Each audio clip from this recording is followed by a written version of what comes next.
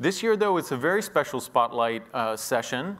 Uh, we are going to showcase our 2022 uh, Wayfinder Award recipients. So, yeah.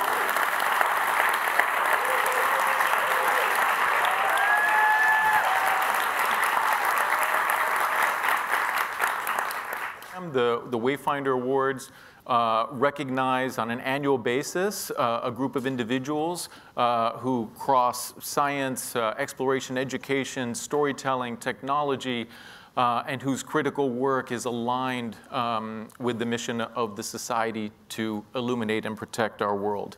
Next up, we have Babak Tafreshi, an Iranian-American science photojournalist.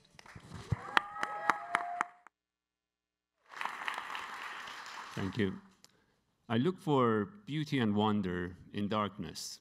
Um, night to sky is almost like my second home. In fact, my wife sometimes reminds me this is my first home because I'm so many nights out of our home um, per year in the past 20 years or so. Uh, but you know, night sky is giving a unique meaning to life on this planet. When you look at our own little safe island in the vast cosmic ocean. This is the only place we have. And it's also a great connection to our past, our origin, and destiny. But beyond these mystical and also science attractions, night sky is 50%, half of our nighttime environment. It's a great connection to us, but it's a vital natural source to many species from night pollinators to migratory birds who are using stars in order to navigate. And unfortunately, today, views like this are no longer available to most of humanity because of light pollution. We live in major cities where artificial light is dominating our sky.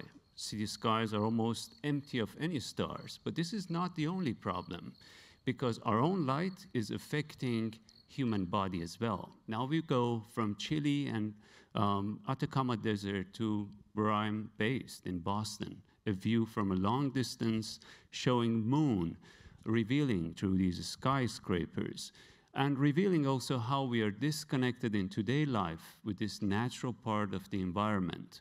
The issue of light pollution is beyond uh, only a problem for a few astronomers or astrophotographers. It's a real global impact on life. And now, since 2016, when the American Medical Association officially announced it's affecting human body, especially the white-blue end of a spectrum, which is widely available in LEDs nowadays, now we have more concern about how it's affecting us and many other species. But my story in fact, it started with, with the moon, with the first look through a small telescope, much smaller than this, when I was 13 years old on a rooftop in Tehran, where I come from.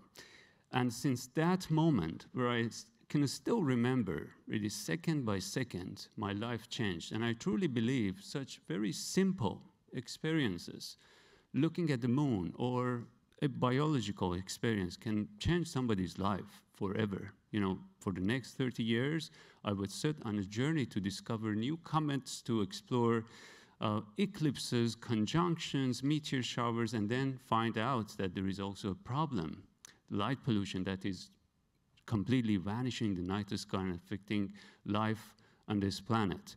And for sharing this message, because light pollution is very abstract at the moment to most people never heard about it, I need your help in order to share this as a global true impact. We have to find a solution for it. Thank you.